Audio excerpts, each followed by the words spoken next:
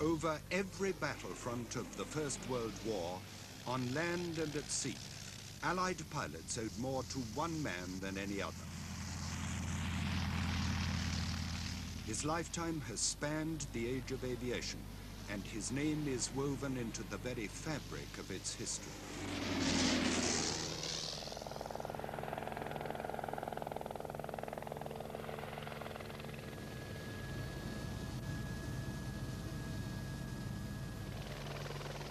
Now aged 96, Sir Thomas Sopwith lives quietly at his manor house in Hampshire. A regular visitor, flying his own jet helicopter, is his son Tommy, an event taken completely for granted by both father and son. Sir Thomas, good morning, sir. Oh, How are you morning. today? How are you? Thomas Octave, because he was the eighth child, Murdoch Sopwith, was born in 1888. His father was a well-to-do civil engineer, which enabled his only son to indulge a youthful passion for speed, motorbikes, fast boats, above all cars. But at the age of 18, his eyes turned skywards. The Short brothers were making balloons under the railway arches at Battersea, conveniently close to their source of lift, the gasworks. I, I'd only just left school and started uh, a very small motor business with an old friend of mine, and he was a great friend of Charlie Rolls. And he, in turn, was a, a very keen balloonatic. And we all got together and, and we started, we did quite a lot of ballooning during the whole of 1906. I remember one very dirty trick we had. Phil Paddon and I together took off very stupidly in a gale of wind. The wind was in the east, and we went off at the rate of knots across Battersea Park and almost straight down to the Bristol Channel. And we landed halfway between Bath and Bristol. Uh, I've forgotten the exact time now, but it was under two hours. Uh, we averaged just on 60 miles an hour. But to young Sopwith, that record and the crash landing with which it ended was merely an appetizer, and powered flight now attracted him. In September 1910, he was sailing with his friend and mechanic, Fred Sigrist. I was coming back across the channel from uh, Dieppe. We were on our way to Dover, and we were practically becalmed in the middle of the channel. And I suddenly remembered that there was an American called Moisant who was trying to fly from Paris to London, and he just crossed the channel two or three days before and landed near Folkestone. And uh, he had a little bit of trouble, so he stayed there for a day or two, and he gave some exhibition flying while he was there. So we popped the launch over the side in mid-channel and made off for Dover, for Folkestone, and uh, sent the ship on to Dover. And we saw Moisant do a bit of flying, and uh, that, that's really when I be- began to take a serious interest in it. From there, I went down to Brooklands, where Mrs. Maurice Hewlett had brought a Farman over from France and was giving joyrides round Brooklands at a fiver a time. So I thought I'd go for a, have a fiver's worth, which consisted of two circuits inside the track at Brooklands. And I think that was the, the, the, start of the bug. I thought, well, uh, this, this feels all right. I, I better have a crack at it. There were two brothers in the motor business, at least one was in the motor business, called uh, Warwick Wright. And his brother, Howard Wright, started to build aeroplanes. And he had built a couple of monoplanes for other people, and he's got a, a third one uh, very nearly complete with a 40 horsepower ENV engine. And I took this over. And I took it down to Brooklands and started to teach myself to fly on it. Well, that consisted of rolling along the ground and making it go where you, more or less where you wanted to go. And that, that took a certain amount of time, but eventually one made friends with it. The, then you started to roll it along in a straight line and go a little bit faster each time. And as happened in several cases, one's first flight was by mistake because you looked over the side and found the ground had gone. So you had to try and get back in. Then I, almost at once, bought from Howard Wright a biplane he was building with another ENV engine, but 60 instead of 40 horsepower. And I made friends with that fairly early. And one day, Harold Perrin, who was the secretary of the Aero Club, came down to observe a fellow called Creswell do his flights for his certificate. So when he duly done his flights in the morning, Harold Perrin came to me and said, why don't you go for your ticket? I said, well, I haven't done a turn yet. I said, wait a minute, I'll go and try. I said, if it comes off, I'll give it a run. Which duly happened. And after lunch, I passed the flying test by ticket. Within two months of first watching Moisant, Tom Sopwith had taught himself to fly and became the 31st British pilot to gain his license. Immediately, he started to compete. In November 1910, the British Empire Michelin Cup for the longest flight of the year, and for a time he held the record at 107 and three quarter miles. One month later, the Baron de Forest Prize for the longest flight into Europe to be completed that year by a British pilot and aircraft.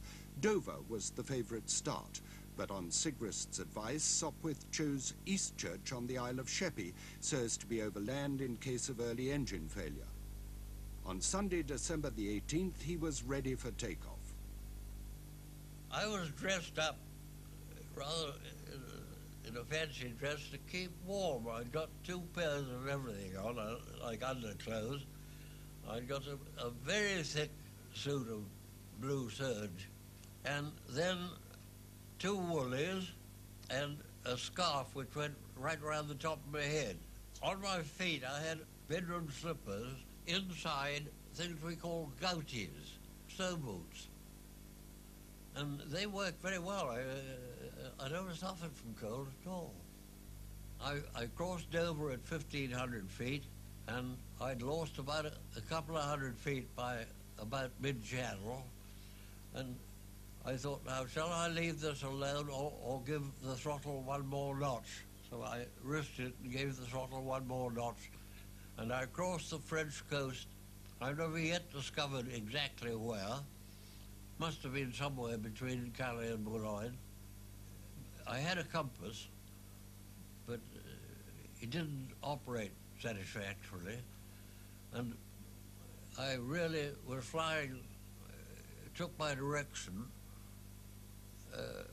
first of all from Sheppey to, to Dover, which was comparatively easy, and after that, the sun went in, and one was left with nothing to steer by except the folk, uh, smoke from factory chimneys, Uh-huh. which I used uh, as a rough guide.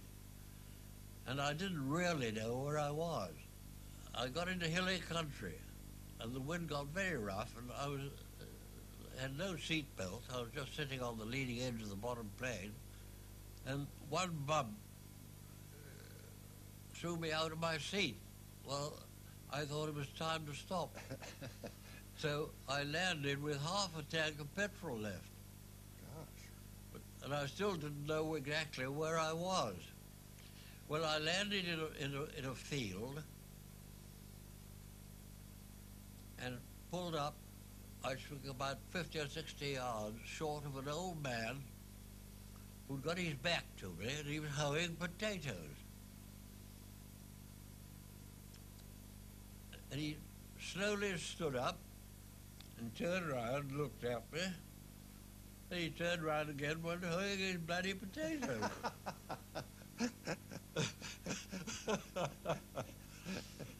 so that was that. That potato field was near Beaumont in Belgium. Distance 177 miles, time 3 hours 40 minutes. Sopwith's telegram home made no mention of this. His sole concern was to get back to beat off any subsequent challenger before the competition ended on December the 31st. None came, and with the £4,000 prize money in his pocket, enough to buy four aeroplanes, he set off with his sister for the birthplace of powered flight, the United States.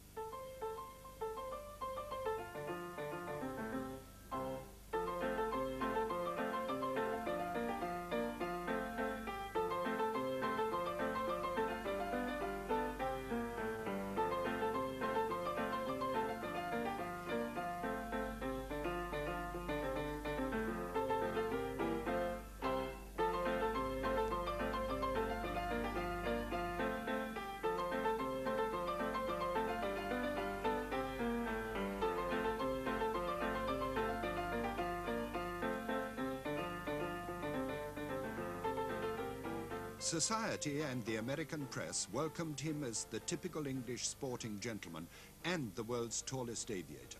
But not everyone was pleased.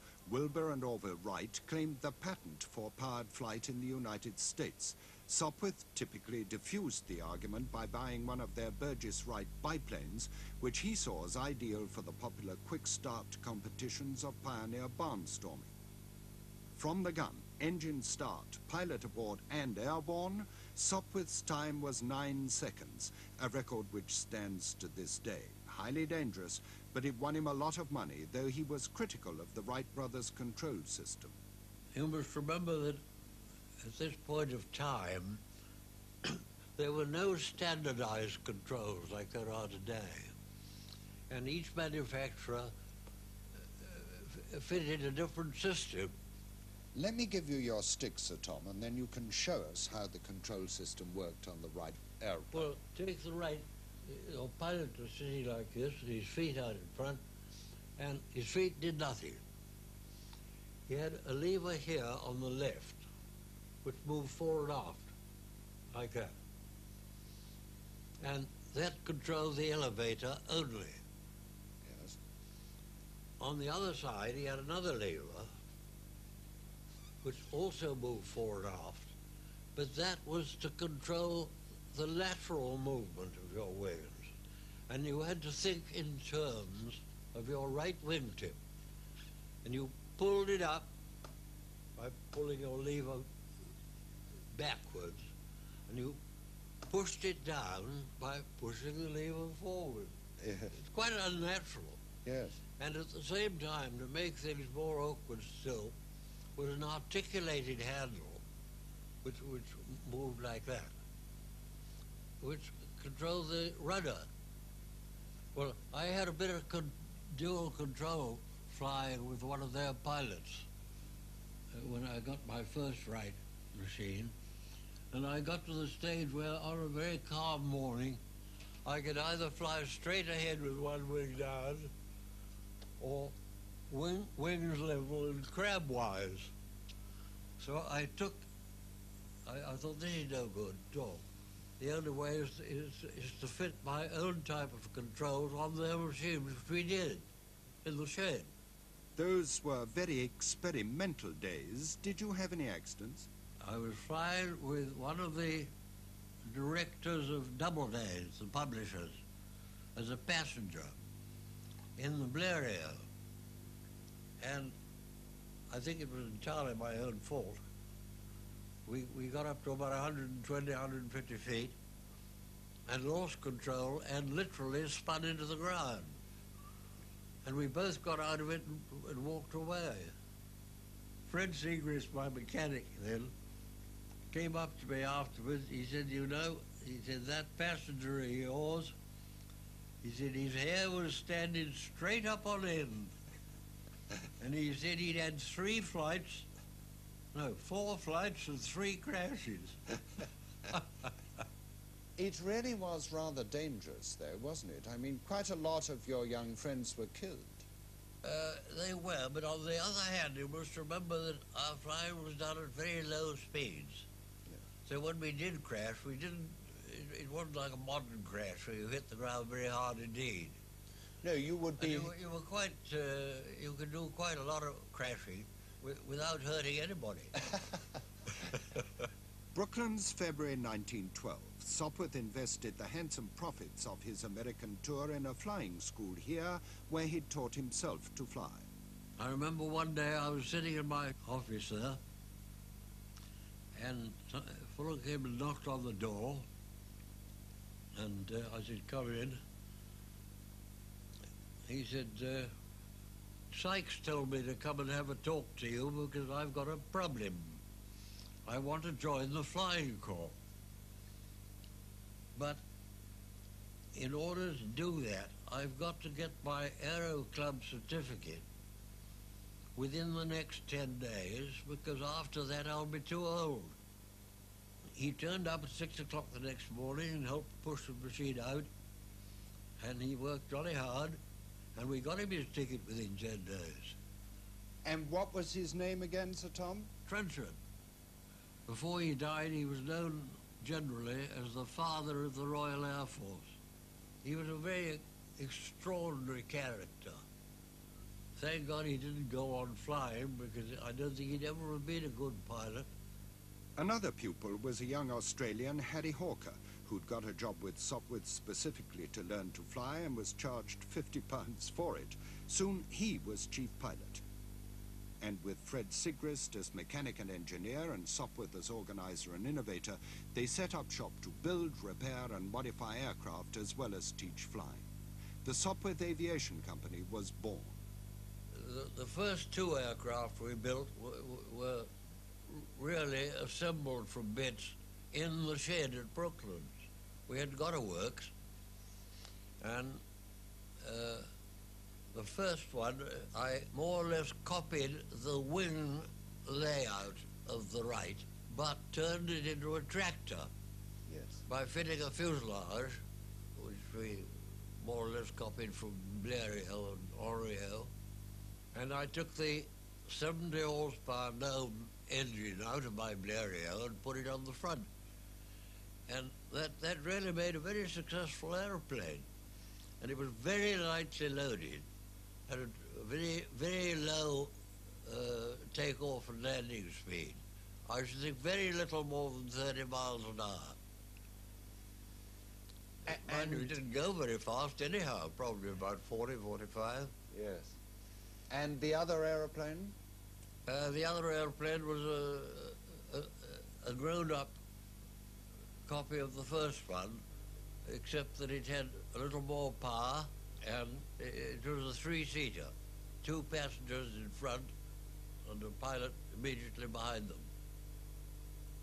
But that aeroplane, from its pictures, really brings us into a new generation of aircraft. It doesn't look like a kite anymore. It looks like a real aeroplane.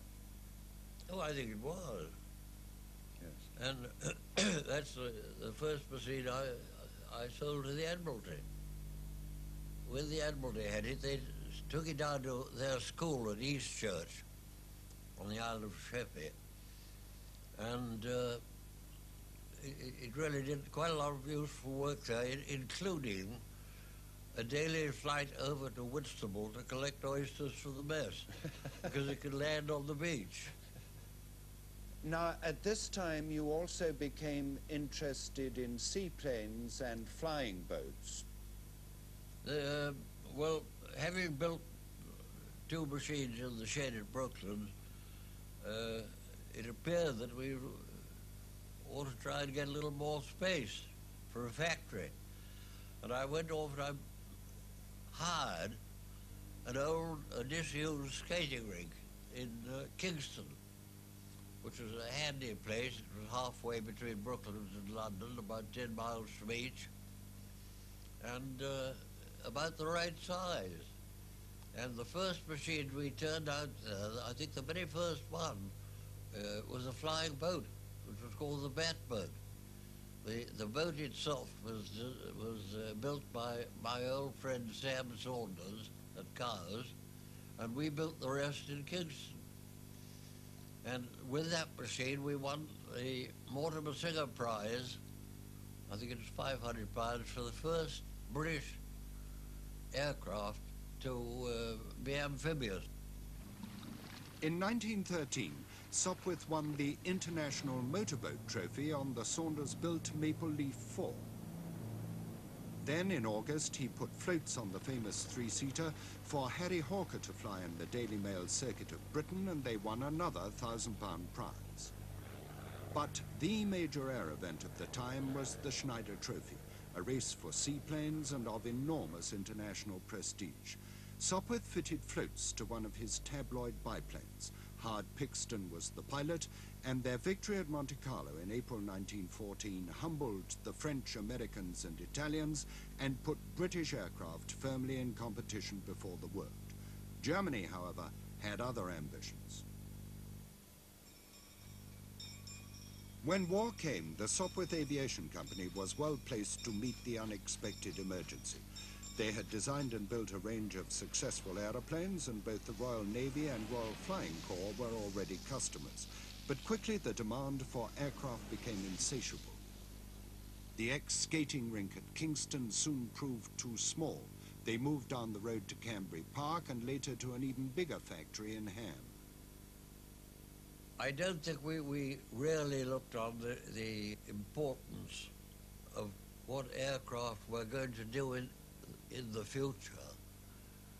I, don't think anybody had the slightest idea as to how far they were going to be developed in a comparatively short time. Uh, in World War One, we started by building aircraft without drawings, just the sketches.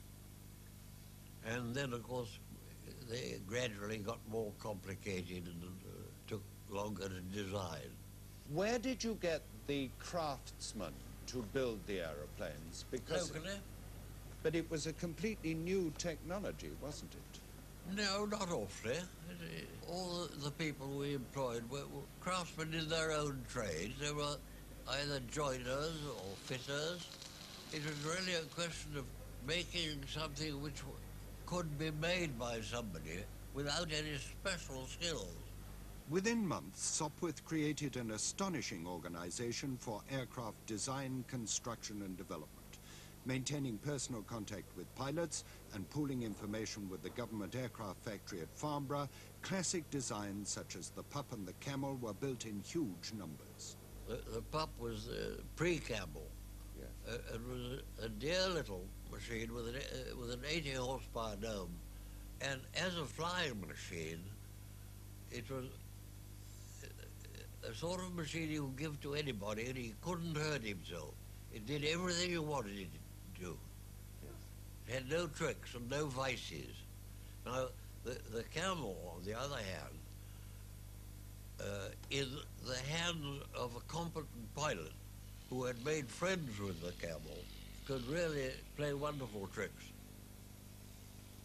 We were very careful to keep our weights close together, in, in particularly in the fighters, because by doing that, you, your finished aircraft was very much more maneuverable.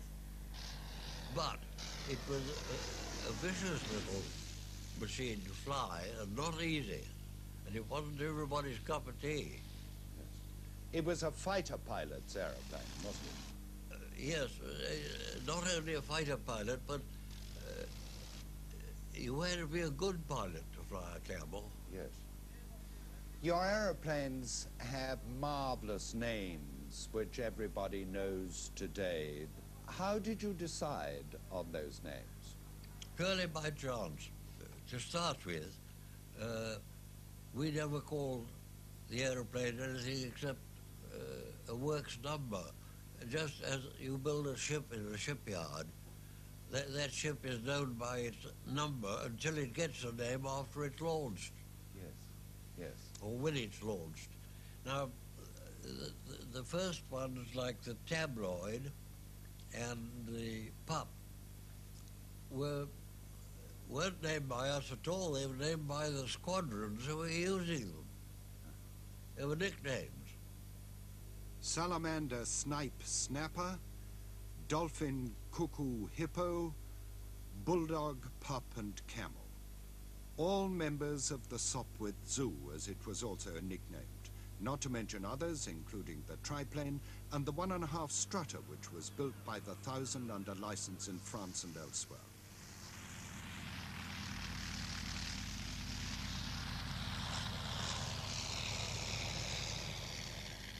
The Sopwith Camel was the top-scoring Allied fighter with 2,700 victories, including shooting down von Richthofen and the destruction of the Zeppelin sheds at Tondern. By 1918, Sopwith aircraft were turning the tide of the air war on every front. Tens of thousands of people were employed, including subcontractors, and at the Ham factory alone they were producing 90 fighters a week. But within days of the armistice, the government saw no further need for a British aircraft industry. You suddenly have a colossal business, which is cut off literally overnight. You wake up one morning and nobody wants an aircraft. We, we liquidated the Sopwith Company and started afresh with a, a, li a little tiny corner of it, which we hired back from the liquidator and started with uh, a team about the same size as the team we started with at Brooklands in 1912. And then we, we gradually built that up again. And what did you call that company? We, we called it the Hawker Company. And the Hawker Company was soon producing aircraft worthy of their illustrious forebears. Hart, Hind, and Fury led to the Hurricane in the nick of time for the Battle of Britain. And since World War II, the Hunter and arguably the masterpiece of them all, the Kestrel jump jet prototype, now the Harrier. But Sir Thomas Sopwith, industrialist, never lost his taste for racing, and in 1934 came closer than any Briton to regaining the America's Cup. Throughout his life, from the pioneer days of flying to the age of jet and aerospace, Sir Thomas Sopwith has epitomized the name he gave to his racing yachts, Endeavour. Sir Thomas, of all your aeroplanes, Sopwiths and Hawkers and the Hawker Siddeley group, of which are you most proud? I find that a very difficult question to answer. Uh, it's rather like asking the father of a large family to pick out his favorite daughter. I think the Harrier is the, is the greatest jump, the greatest uh, stride in the development of all our aircraft. And I remember very well watching the Hurricane, the Harrier or its uh, prototype. Yes. When it first flew, and I saw an airplane take off, climb, fly very fast, slow down, stop, and fly backwards and sideways, all under control. I reckoned I'd seen everything. At 96, a lifetime of amazing achievement behind you, Sir Thomas, to what do you most attribute your success? Pure luck.